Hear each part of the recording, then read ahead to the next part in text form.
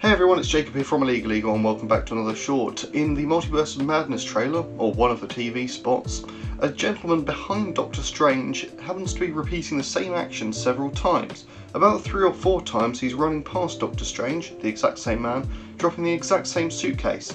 This seems to hint that this may be a reality or a non-reality, some sort of simulation perhaps, or maybe time is messing around again. Who knows?